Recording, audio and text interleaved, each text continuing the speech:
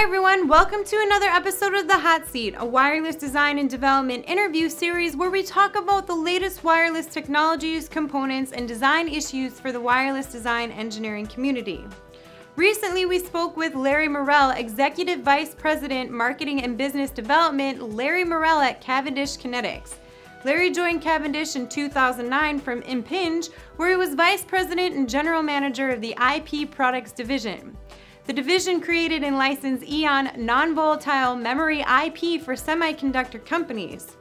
Earlier, Larry directed marketing for Cypress Computer Products Division, which launched the USB and programmable clock product lines. Prior to Cypress, he was Vice President of Marketing and Business Development for Data I.O. Corporation, and he also held various engineering and marketing positions at Seattle Silicon and the Boeing Company. In this episode of The Hot Seat, Larry talks about how Form factors for today's mobile devices are driving a fundamental change in antenna design strategy. Mobile phones are continuing to get thinner and more complex. How is the design of the antenna changing to fulfill the demand of thinner phones? Well, thank you, uh, Meaghan. Thank you very much for that question. So, just a bit of a history lesson here. Uh, so, phones for the last few years have been evolving quite dramatically. Here's a phone from about 10 years ago, and the antenna for this phone looks like this. It's a pentaband antenna, so it has five bands it can support. And you can see it's got a fairly thick uh, form factor, so the volume for this antenna is actually pretty significant. Uh, phones have now evolved to something like this. This is a modern smartphone that currently on the market today. It's the phone that I'm currently using. And it's a lot thinner, which means that inside you have got much less volume you can use for the antenna. So here's this is not from this particular phone, but here is an antenna from a current smartphone. Now you can see the thinness is uh, just dramatically different.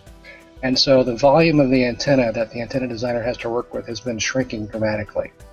So what that means is that the antenna designer has to be using now more and more tricks to get these antennas to do more things in smaller volume.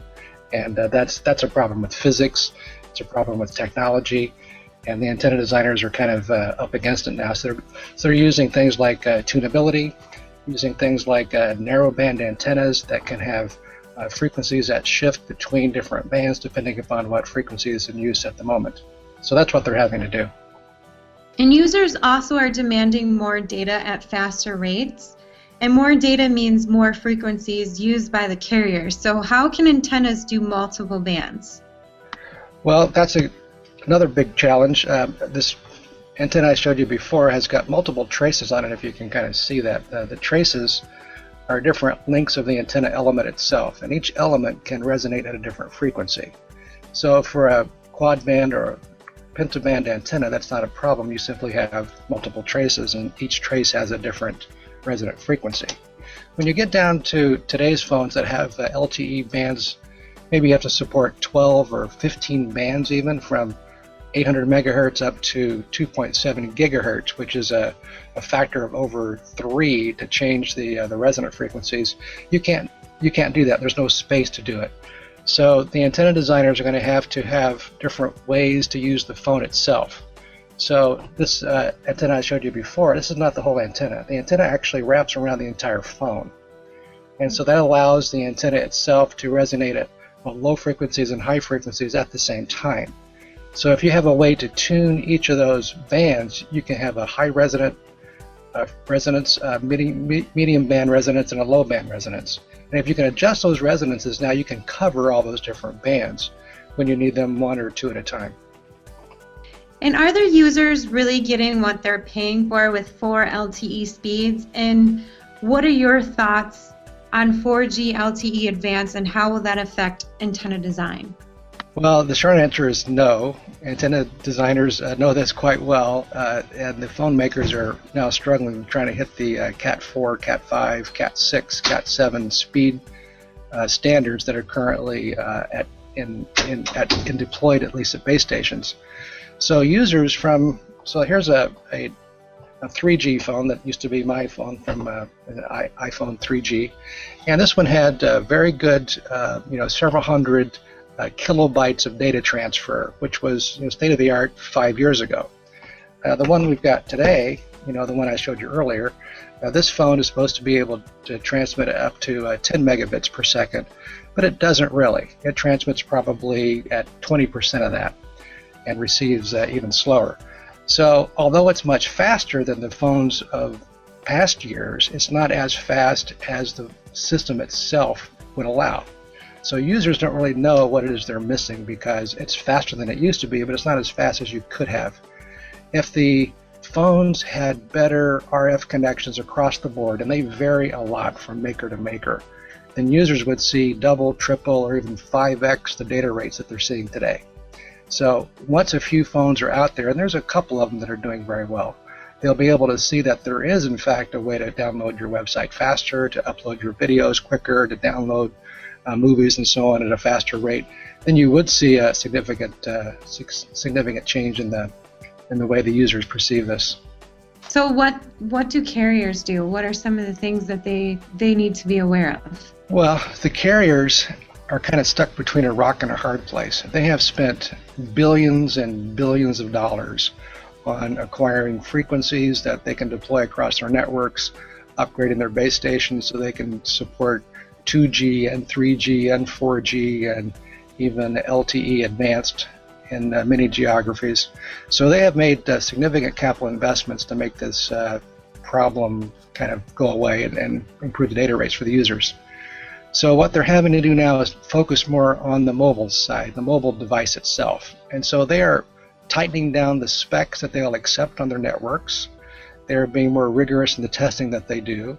And they are going back to their OEM suppliers and demanding that they have better performance on the RF and they have better testing so that when they deploy these devices on their networks, they have uh, much higher predictability.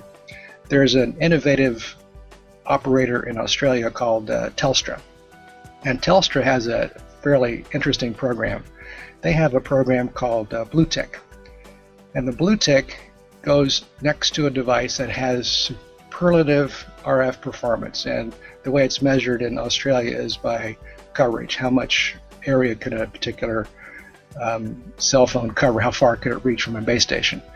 So if devices outperform the spec, and there's an additional test that Telstra does, they get a, a blue tick next to their uh, product on their website. And so this blue tick tells consumers this product is a superior performing data product, is superior performing as far as uh, cellular coverage goes.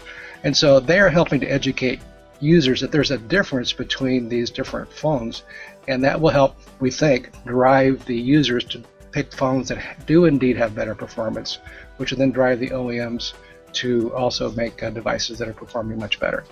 And Larry, from an inter- from an industry perspective, what are some of the things that keep you up at night? well, from a job standpoint, uh, the thing I most worry about is that the bureaucrats and politicians that assign frequencies will come to their senses and make this all easy, and then, then we lose our jobs and we all go away. So that's not going to happen. Uh, the thing that keeps me up at night is how quickly we can get designers onto some new design techniques using newer technologies. I mentioned this antenna I showed you before. Uh, it looks like a fairly simple antenna, but it's actually got, if you look on this side, there are multiple contacts on this uh, antenna. You can see there's four different contacts right here and some more contacts on the edge. The previous antennas will only have two or three contacts. Now those contacts are going to smart tuning circuits. And those circuits allow this antenna, although it looks fairly simple, to operate between uh, 800 megahertz and 2.7 gigahertz by using some uh, some tuning technology, in this case from Cavendish. So the major challenge is how quickly can we get antenna designers to adopt a tuning antenna approach so that they can indeed follow the trends, uh, create antennas that can cover all these bands. So mostly it's an educational issue that I wrestle with. Was there anything else, Larry, that you would like to add or comment add that you think is important for our viewers to know, especially about Cavendish and some of the things we might be expecting to see from them in the, the future? The uh, I mentioned tuning technology in the antenna. You're going to see tuning in a lot of antennas uh, being kind of standard uh, equipment from now on. And antenna designers today are now creating different kinds of antenna structures that are more uh, amenable to tuning. You can't use tuning on an old style antenna. You have to actually think about tuning as part of your design process.